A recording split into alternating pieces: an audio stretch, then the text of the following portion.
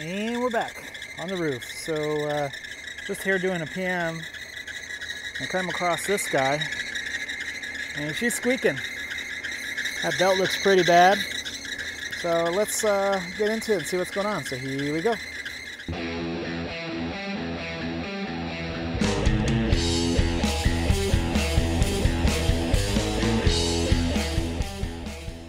Alright, so we got the power kicked off. So it looks like we got a loose belt. Uh, so you think it'd be something easy like just adjusting the belt tension, but no, not in the world we live in. Look at that. Let's get in there. Yeah, so uh, the bearing is just completely gone. So we're gonna need a new bearing. Um, the sheave surprisingly seems to be okay. I mean, the shaft looks okay, but I'm gonna just, I'm gonna change everything. So we're gonna get a new shaft, new bearings, uh, front and back. If we're gonna change one bearing, you might as well do both of them. Um, and I don't know if the shaft is damaged. So I'm gonna take this belt off and we'll see if we can take a look at it. Okay. Now I know, I know I'm not supposed to roll the belts off, but the belt's gonna get replaced as well. Actually, yeah, I think the shaft might be okay. It looks like the bearings actually protected the shelf or the shaft. So uh, yeah, we're gonna be right back once uh, we get all the stuff we need. So I'm back on this one. Uh, I'm gonna change the shaft and the bearings. Uh, I was gonna do the pulley, but they gave me the wrong, the wrong one. So we're gonna use the original one. I'm gonna come back later and, and swap that out. Anyway, uh, yeah, so we've removed the top panel and this side panel just so we have full access to everything. Um, yeah, so there's our somewhat good bearing. So we're gonna go ahead and start by removing the belt, removing the pulley, um, getting the remnants of that uh, bearing out of there, and then uh, trying to get the shaft out because we have to reuse the uh, blower wheel, so we have to be careful. First things first, we need to go ahead and loosen our set screws. So there's one here and one here. I believe it is a 532nd, which if you're using Wera, it's the yellow one. Yep. Okay, so let's get those loosened up. All right, so we're putting our pulley puller on here. And then I have this adapter here, so this is a three quarter. So we'll go ahead and use that.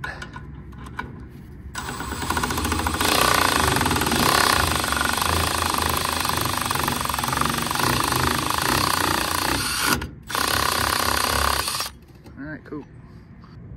All right, we got the set screw out. It's right there. So now we're gonna go work on that other bearing on the other side. And then hopefully I can just pull the shaft straight out. Hopefully. All right, so that shaft is gonna be a total pain in the butt. Um, so I'm gonna take the whole housing out just so I have easier access.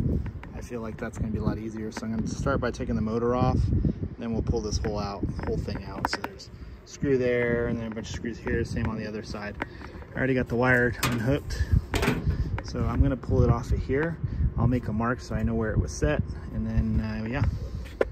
All right, so I got the housing apart. I got the wheel out. Um, that shaft is really in there.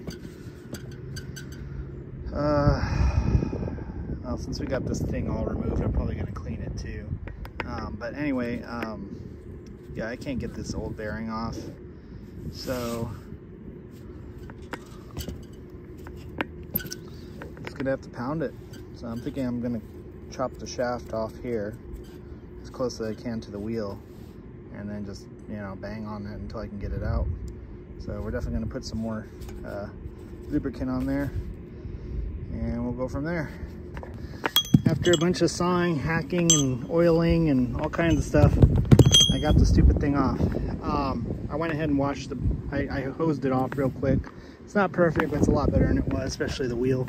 So we're gonna go ahead and reassemble everything, and then uh, we'll go ahead and install the new bearings, the new shaft, and then we'll put it back in place, put the motor and the pulley back on, and then go from there. So when doing this, it's very important that you put the wheel back in the correct direction. So you can see here it's got an arrow. So that means it's to spin this way. So if we look at our scoops here, we can see that it's this way. So that's the direction we want it. Okay, so we're gonna go ahead and put the top part back on and then we'll slide our shaft in. So we got it all put back together. Here's our new shaft.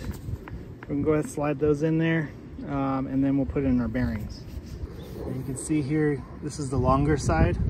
There's a flat part here and then there's a short flat. So this is the back side. This is the front side because we need that extra space for the pulley or sheave or whatever you call it. Okay, cool. So she's in there. And then we're gonna go ahead and crank this one down with a 1 8 Allen. You can see that this bearing is a little bit different uh, than the old one. I'm just assuming it's a newer, better version. Hopefully it lasts longer than the old one. All right. Alright, so now we're going to go ahead and get our other bearing in here. Okay. Cool. And we shall go ahead and crank her down. Now we just need to align our wheel and then we're going to pop this back into the unit. Sweet. She's good to go. So now let's go ahead and stick her back in the unit and we'll get that pulley installed. So we got her all in place. I still got to get this, but I'm gonna put a new belt on here. So I pretty much got this lined up. Basically, I use a straight edge just to make sure it's in line, and then I will just kind of check it out. And that looks pretty straight to me. I don't know how that looks to you, but that looks just about right to me. So we'll go ahead and put the belt on, see what that looks like. Okay, yeah, that's pretty straight. So now we're gonna go ahead and adjust that. I did make a mark of where it used to be, but we may have to adjust that. that's about where it was. That seems pretty good. All right.